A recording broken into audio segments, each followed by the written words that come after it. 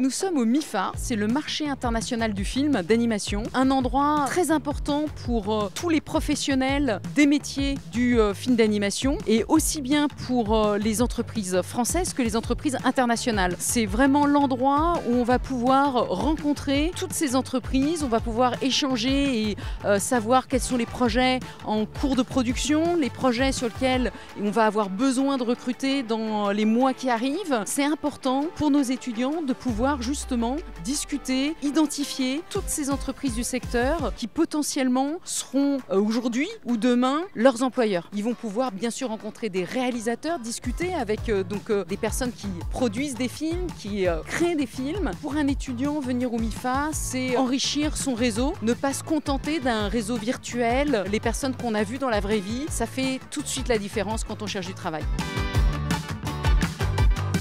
Je suis venu au MIFA euh, tout d'abord pour rencontrer des professionnels de l'industrie, pour avoir des reviews sur mon portfolio, pour savoir qu'est-ce que je pouvais améliorer et qu'est-ce que j'avais à changer, pour avoir euh, un meilleur portfolio du coup euh, dans un avenir proche et aussi pouvoir essayer d'avoir un, stage. Ça me plaît vraiment d'être ici, il y a une très bonne ambiance, c'est vraiment très amical, très joyeux, on peut parler avec n'importe qui, on fait des bonnes rencontres que ce soit tant professionnel ou même en tant que collègue, franchement c'est trop bien.